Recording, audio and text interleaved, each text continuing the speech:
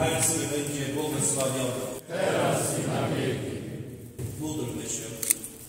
Na cześć i chwałę Boga Rodzicy Dziewicy Maryi, na pamiątkę tajemnicy życia, śmierci i zmartwychwstania tegoż Pana naszego Jezusa Chrystusa, pobłogosław Boże te różańce, te karniki i wszystkie dewocjonalne. Pobłogosław i tych również, którzy będą brali te różańce do rąk, będą chwalili Ciebie i Maryję, który żyjesz i królujesz na wieki wieku. Amen.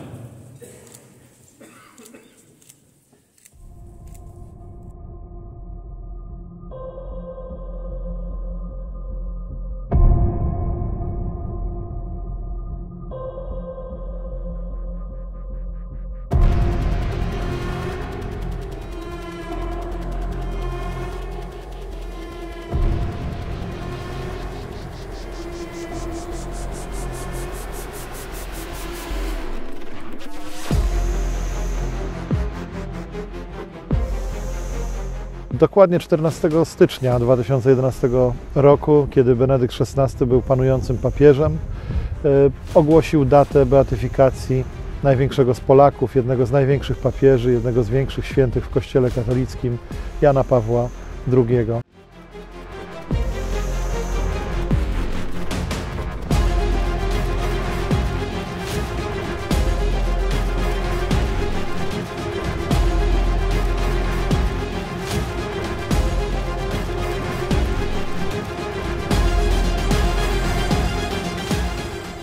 Bo poza zakonem znajdziemy pewnie wielu innych, bardziej świętszych ludzi niż wy jesteście.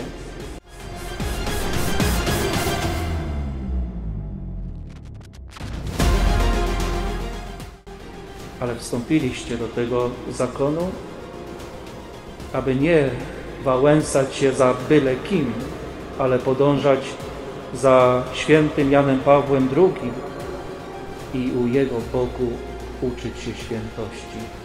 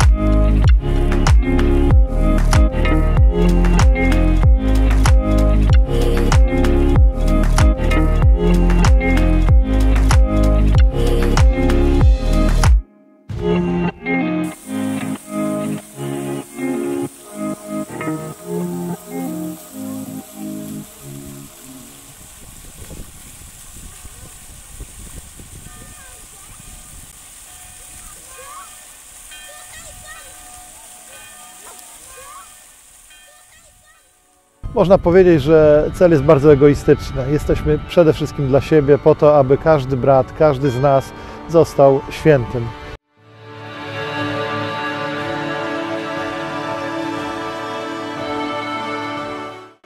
Świętości, o której tak bardzo mało się mówi. Jednak mając za wzór świętego Jana Pawła II, który tak bardzo ukochał Matkę Najświętszą, ta droga ku świętości staje się bardziej łatwa.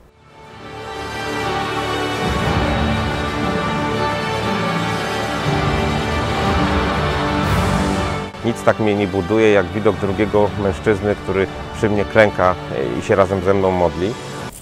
Zacny bracie, przyjmij ten różaniec, który wedle pradawnej tradycji Kościoła jest mieczem przeciwko szatanowi. Używaj go tak często, jak to tylko możliwe. Mamy nadzieję, że nasze nawróca, nawracanie się takie permanentne, ciągłe, aż do śmierci, będzie oddziaływać pozytywniej na nasze żony, na nasze dzieci, na nasze wnuki, na naszych bliskich, na naszych przyjaciół i znajomych. I w ten sposób chcemy mieć jakiś swój mały wkład w zmianie świata na lepsze.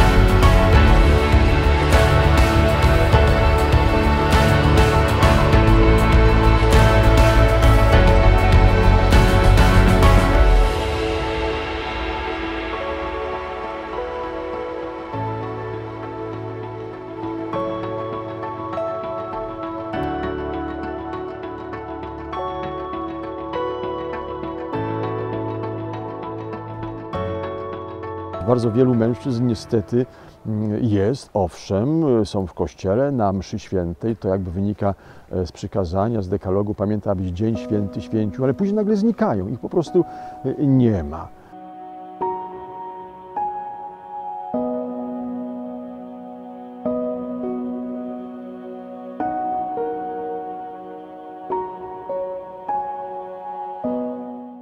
Idea rycerstwa ujęła mnie. Ujęło mnie to, że jest to, mm, że jest to wspólnota, która grupuje świeckich mężczyzn, którzy wspólnie się modlą. To jest naprawdę bardzo rzadkie.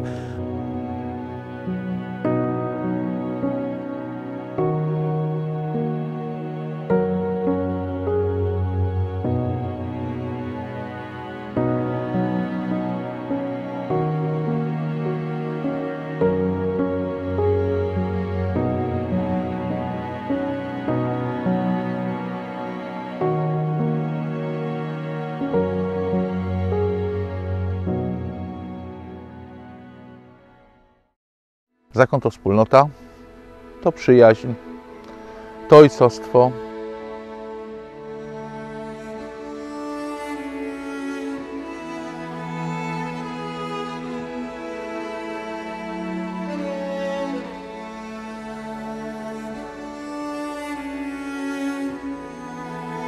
Od momentu, kiedy przystąpiłem do zakonu, odkrywam coś absolutnie nowego, fascynującego wręcz.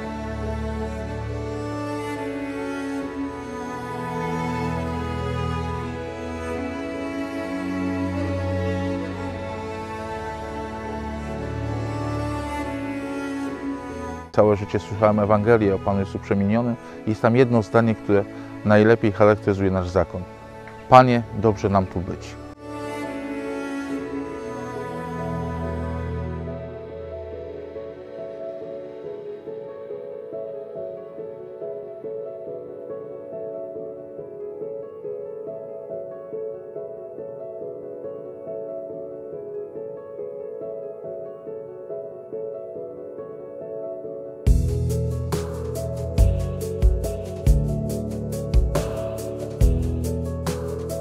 Nie wiecie, jak bardzo chcecie być w zakonie.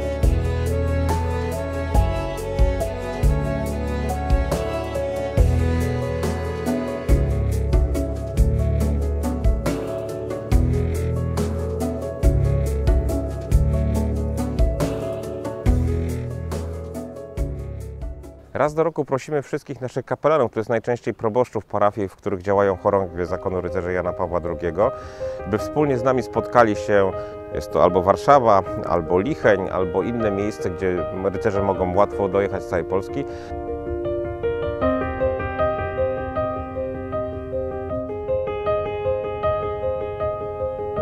Zbieramy się na Radzie Kapłańskiej.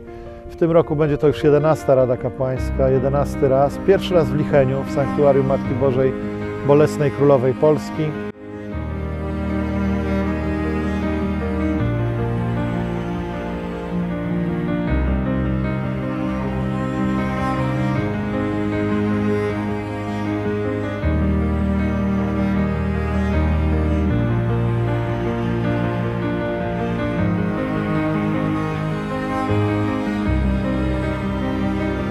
Celem tej rady, tego zebrania jest wybór lektury patronalnej. Czyli takie, która umacnia nas i pozwala nam się formować w kolejnym roku bratnim. E, Nasi bracia rycerze zawsze zgłaszają jakieś propozycje, właśnie pism, mów świętego Jana Pawła Wielkiego. W tym roku było sześć takich propozycji.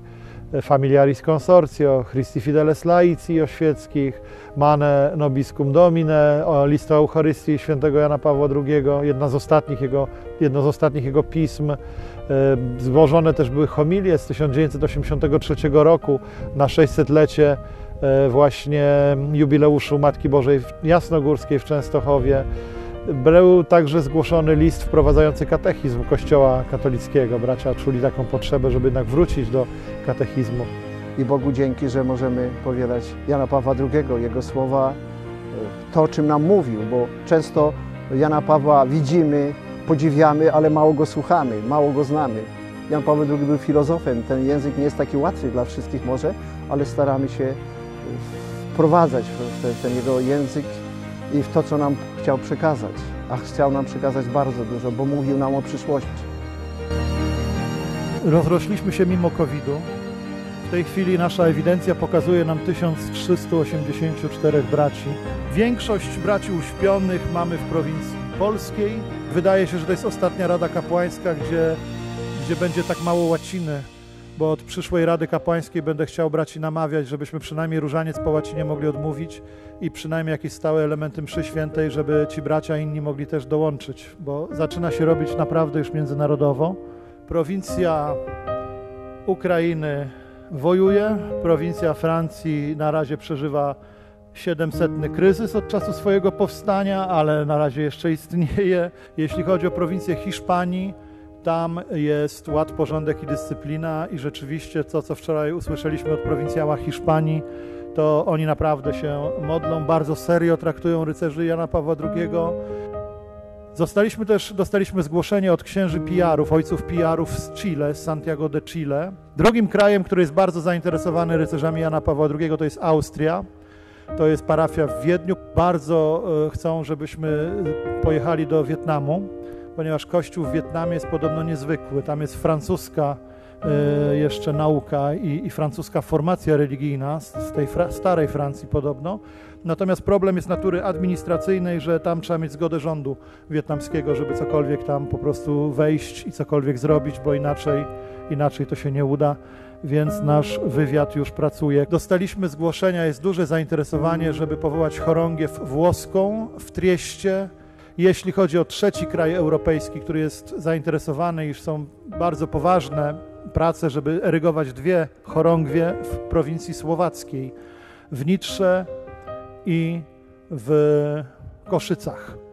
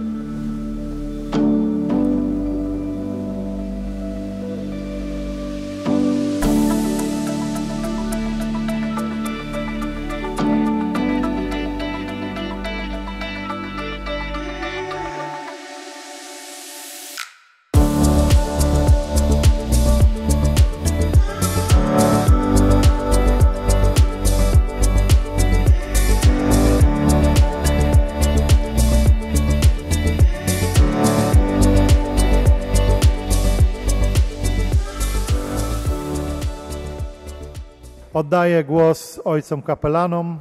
Zacni bracia, bratowe, proszę o ciszę, bo tutaj się będą teraz działy historie. Ja proponuję ten dokument Mane Nobiscum Domine, ponieważ motywuję to w ten sposób, że e, rycerze zacni są osobami świeckimi zaangażowanymi w Kościele, więc nie trzeba ich na nowo motywować, choćby tym dokumentem Christi Fideles Laici. Natomiast wszyscy, nawet tu zacny generał mówił, że msza święta jest najważniejsza, żebyśmy pogłębili e, miłość do Eucharystii w tym roku. Ja zaproponowałbym może e, w związku z tym, że będzie to e, 40. rocznica pielgrzymki Ojca Świętego Jana Pawła z 83 roku. Właśnie te słowa, które wtedy wypowiedział, te homilie i jego przekaz, e, właśnie z dwóch powodów. Po pierwsze, że jest rocznica e, 40, e, a po drugie e, ten kontekst, który również wtedy był, był to e, stan wojenny, co prawda zawieszony, ale mimo wszystko, czasy niełatwe, czasy trudne i to prze, przesłanie Ojca Świętego e, z tym przekazem pokój Tobie Polsko, Ojczyzno moja, wydaje mi się na ten czas również, który obecnie przeżywamy, byłby dobry. Wtedy byliśmy młodzi, młodzi, ja byłem młody. Wspominam tą pielgrzymkę, którą przeżywałem, szczególnie spotkanie z Ojcem Świętym w Częstochowie, e, apel jasnogórski do młodzieży. Dlatego jest mi szczególnie bliskie te słowa i ta pielgrzymka. Dwa typy. Pierwszy to temat Eucharystii Mane Nobiscum Domine, tak żeby pogłębiać naszą więź z Chrystusem w Eucharystii. To jest źródło naszego życia i bycia chrześcijaninem, uczniem Jezusowym. Drugi typ i drugi w kolejności, y, Redemptor hominis, nasze zakorzenienie w Chrystusie, który jest odkupicielem człowieka, każdego, każdego bez wyjątku, bo Chrystus z każdym się zjednoczył przez człowieczeństwo i przez odkupienie. My czasem myślimy, że ktoś wypadł z tego kręgu zainteresowania Jezusa, a jednak On z każdym się zjednoczył. Ja jestem za adwertacją Jaką? Eucharystii.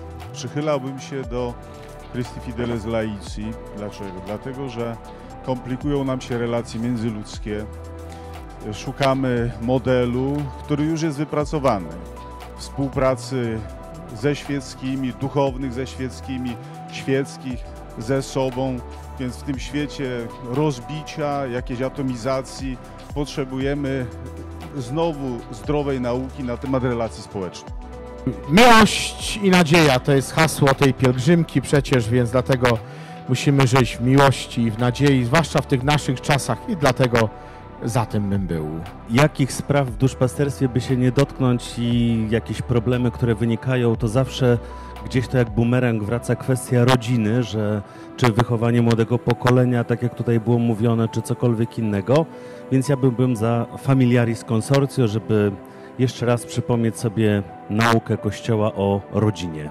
Opowiadam się też za homiliami pielgrzymki 83 papieża Miłość i Nadzieja. W Milanówku są dwie szkoły średnie. W jednej na, e, właściwie w jednej jest 300 uczniów, w drugiej 700, a więc daje razem 1000. Na lekcji religii uczęszcza 100 osób i z jednej i z drugiej razem wziętych, czyli 10%. Mamy stawać się świadkami dla tych młodych ludzi, którzy za chwilę ruszają w świat, będą zakładać swoje wspólnoty rodzinne. I dlatego, sięgajmy do podstaw. Katechizm Kościoła katolickiego. Fidei depositum. Uczniowie prosili Pana Jezusa, Panie, przymnóż nam wiary. I myślę, że trzeba nam wracać do początków, trzeba, żeby cokolwiek dalej można było, to te podstawy e, wiary nam są potrzebne, więc e, fidei depo- depositum. Myślę, że dwie propozycje bardzo ważne. Pierwsza, Redemptor hominis. Dlaczego? Jeśli rycerze Jana Pawła II to zakorzenieni w Jezusie i zakochani w człowieku. Musimy ciągle się udoskonalać właśnie w tym naśladowaniu Jezusa i do tego wracać. Do tego też motywuje nas książka Ojcowie, o których prosił. Pierwsza propozycja. Druga propozycja. Jesteśmy wszyscy zakonem, jesteśmy wszyscy rodziną, są bratowe, bratankowie, bratanki. Dzisiaj trzeba też pokazywać, że rycerze Jana Pawła II to rodzina zakonna, ale też rodzina pełna miłości, przekazująca przykład, modlitwę i niosąca pokój, a więc familiaris consortium. Christi Fidelis Laici. Zaproponowałbym jednak homilię papieskie z pielgrzymki. Moja propozycja to jest ta szósta Christi Fideles Laici, bo jak czytamy tutaj jest to adhortacja o powołaniu i misji świeckich w Kościele i w, świecie. I myślę, że dobrze się to wpisuje w ten czas synodu, który ogłosił Ojciec Święty Franciszek, który trwa, bo jest to jakoś zbieżne jedno, jedno z drugim. A myślę, że ten dokument no, nada taki, taki sens temu wszystkiemu, co w synodzie się zawiera. Zagłosował za 40. rocznicą pielgrzymki i temat pielgrzymki z 83. Jestem za listem apostolskim o Eucharystii. Z własnych obserwacji widzę, że zarówno wielu kapłanów, jak i świeckich ciągle nie docenia tajemnicy Eucharystii. Widać to jest nie tylko na mszy świętej, ale też adoracja Najświętszego Sakramentu. U mnie jest kaplica adoracji wieczysta i niestety nieraz jest ona pusta. A więc no i ciągle jest potrzeba, żeby mówić o Eucharystii, o, tej, o tym największym darze, jaki Bóg nam daje. Trzecia propozycja, list o Eucharystii, bo to duchowość eucharystyczna jest bardzo mi bliska i też chciałbym, żeby zachęcić do adoracji Chrystusa Eucharystycznego. Ja byłbym za Familiaris Consortio. Powód jeden, który tak mi ostatnio, ostatnio tak mi się to zrodziło. Prowadzę rozmowy indywidualne z rodzicami dzieci pierwszokomunijnych. Proszę mi wierzyć, pierwszego dnia na pięcioro dzieci jedno żyło w normalnej rodzinie. Teraz ten procent się troszeczkę zmienił, ale mniej więcej to jest może jedna trzecia, która żyje w normalnych rodzinach. Reszta, reszta to kolejne związki albo samotne osoby. Dlatego byłbym za dokumentem o rodzinie. Jak tutaj przyjechałem, to brat kapelan Sławek Zacny e, odmawiał sobie brewiarz i mówi: Zobacz, jakie zdanie. Bądźcie światłością świata. Mówi to o rycerzach. I tak was widzą, zacni bracia, jako światłość świata. Chciałoby się dodać jako sól tej ziemi. I tak jak się mówi, że ksiądz jest na świeczniku i trzeba więcej od niego wymagać, to ja bym was prosił, zacni bracia, że gdyby nawet nikt od was nie wymagał, nawet generał, to żebyście sami od siebie wymagali. Proponuję też to, co mój przedmówca, pierwszą lekturę, dlatego że chyba o rodzinie nigdy za dużo, a czasy każdy z nas wie, jakie mamy.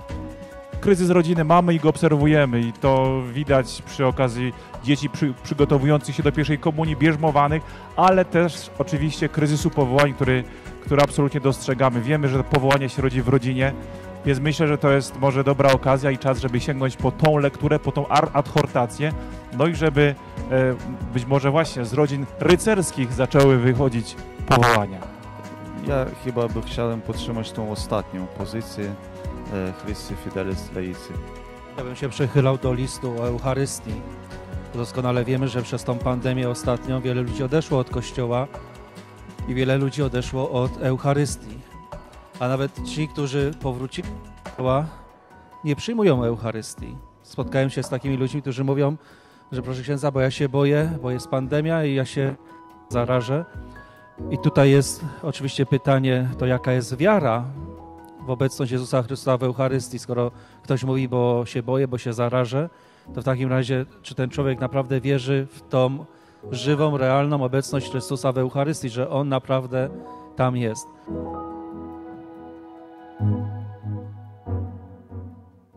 Bracie lektorze, jakbyś mógł ogłosił wyniki wyborów? Na pierwszą propozycję głosowało Ilu ojców kapela? Czterech ojców kapelanów. Familiaris Consortio cztery głosy. Druga pielgrzymka do ojczyzny Jana Pawła II. Sześciu ojców kapelanów. Sześć głosów. Mane nobiscum domine list o Eucharystii. Siedmiu ojców kapelanów. Fidei, de, fidei depositum. Konstytucja apostolska wprowadzająca katechizm Kościoła katolickiego. Dwóch ojców kapelanów. Redemptor hominis. Pierwsza encyklika Ojca Świętego. Jeden kapelan. Christi fideles laici. Czterech kapelanów. Czcigodni ojcowie kapelani, miło mi ogłosić, że będziemy studiować list apostolski Ojca Świętego Jana Pawła II, Mane Nobiscum Domine, do biskupów, duchowieństwa i wiernych na rok Eucharystii. Od października 2004 do października 2005, dany w Rzymie dokładnie w święto hetmanki głównej rycerzy świętego Jana Pawła II, 7 października w Matki Boskiej Zwycięskiej, zwanej po soborze także różańcową.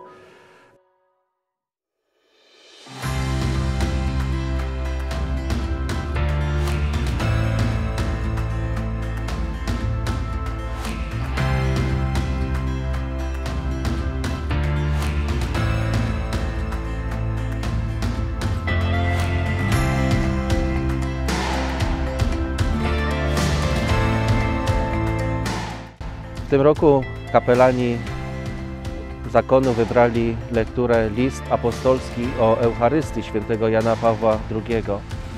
Temat Eucharystii jest cały czas aktualny i może dzisiaj w sposób szczególny, kiedy po pandemii wielu ludzi odeszło od Kościoła. Doskonale też wiemy, że nie wszyscy wrócili do Kościoła i też wiele osób przestało nawet przyjmować Komunię Świętą, bojąc się, że mogą się zarazić.